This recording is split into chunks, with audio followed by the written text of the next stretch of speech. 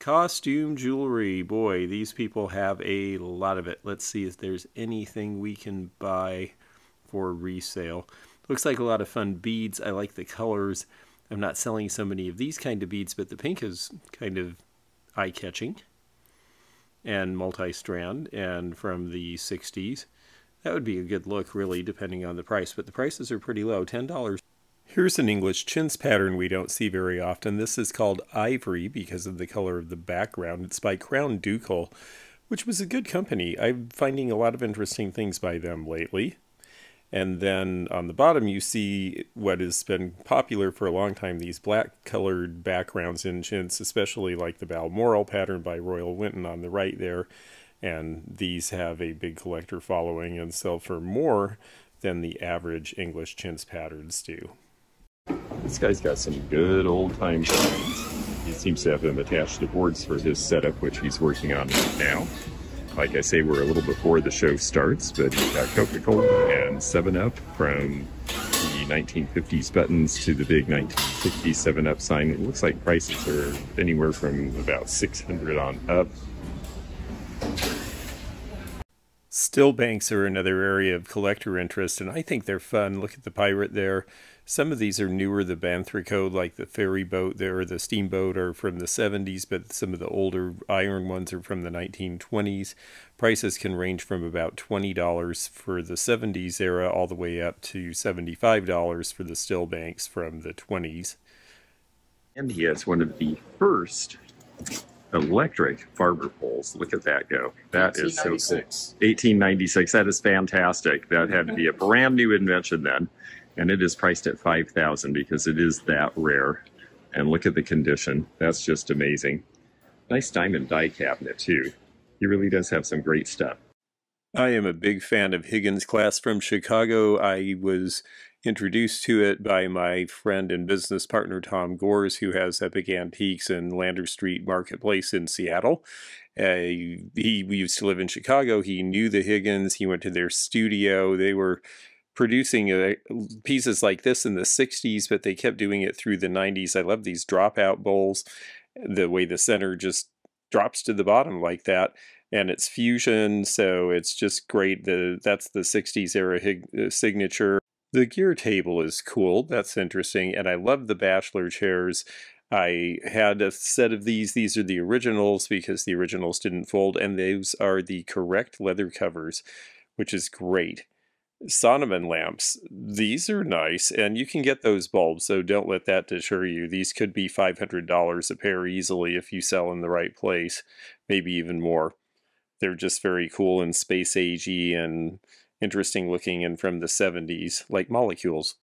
I really like jewelry caskets. A ton of them were made. They have an Art Nouveau look. They came out originally around 1900. They're very sweet. Usually they had silk lining originally, oftentimes that's gone. Sometimes they're too tarnished, so you really have to look at condition, but they can sell. And look at these great banks and tobacco humidors. I love this guy with the jester's face, only $40. These are all from about 1910. The larger ones were tobacco pots, the smaller ones here are banks because you can see the bank head in them. These are mainly going to be German or Austrian or round 1900 to 1910, but I really do like the Jester, I have to say, of all of them. That's the one that's the most intriguing to me at $40. I might just buy that guy. Wow, a blast from my antiquing past. Royal Doulton, we had a dealer from Canada who would bring lots of this down to the States and sell it in our malls. And there's your mark. The shapes of these are really interesting. They're from the 1910s or so. Some are Dickens ware, some are other English stories. This Enid Collins purse is a really fun one. The owl is great. The colors are great. It's right around 1970, about the time she sold the company. Pennywise, cute design, and the condition is pretty good on this one. You can tell it was worn, but not too badly, and it's still great. Big wooden hair comb, or is it tortoise shell? If it's tortoise shell, you can't really sell it. If it's plastic or wood, you're in business. So be careful.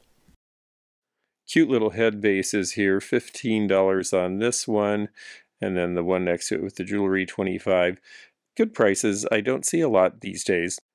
Ooh, some really cool cars here. This is a 1934 vintage siren car, and yes, it does have a working siren. Not a lot of kids would have been able to afford that, even though that was the first year the Depression started to ebb.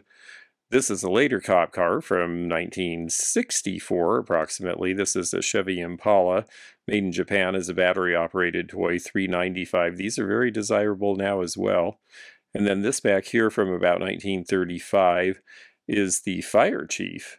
It was another one that was really great because it had light bulbs for light bulbs, and that was expensive then too.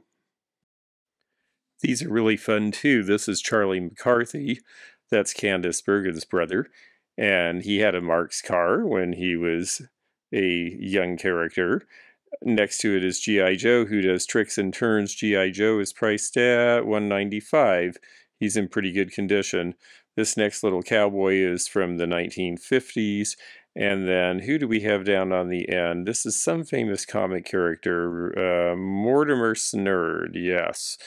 And Mortimer Snerd had his own Marx car as well.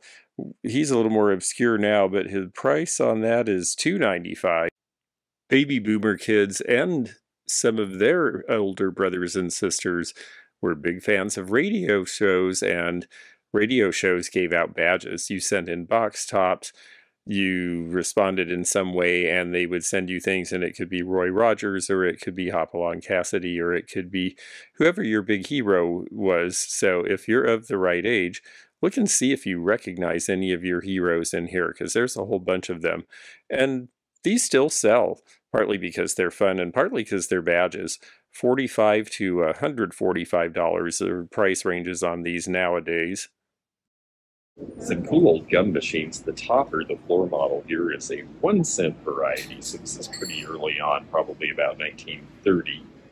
The Ford banks are the ones that we see more often with this spring-loaded top here. Ford would donate to charity, and so they became ubiquitous. I like the dexterity machines from the 1950s that they had in the bars. This one's cued over the rainbow. You're looking for the pot of gold. Nice gum machines. I especially like this one. It's officially an antique, 1923 patent date. So it is 100 years old. You can even see the runs in the glass. That's a cool old machine. Very, very nice brass scale here. This is a gum advertising machine, but this would have been in a candy shop to weigh things there, and then the gum advertising is on the dial, so it faces the customer.